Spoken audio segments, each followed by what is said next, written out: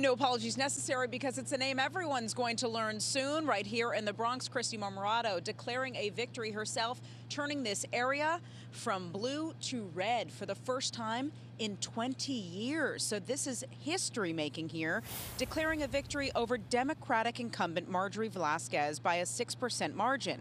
Kristy Marmorato is a newcomer to the political world, even though her brother is the Bronx GOP chair. After spending 24 years in healthcare, mostly in women's health at Greenwich Hospital and then as an x-ray tech here in the Bronx, the 44-year-old said some key issues facing the Bronx made her run. The main point of contention was the Bruckner upzoning project, allowing construction of eight-story buildings in a neighborhood that's traditionally been privately owned homes. It's an issue that has sparked protests here in the 13th district, and she's also been a loud voice of opposition. Listen to our community with the Bruckner upzoning. She's not supporting the community against the Just Home Initiative, and she's looking to put a casino right smack in the middle of our community that's going to be bigger than Yankee Stadium.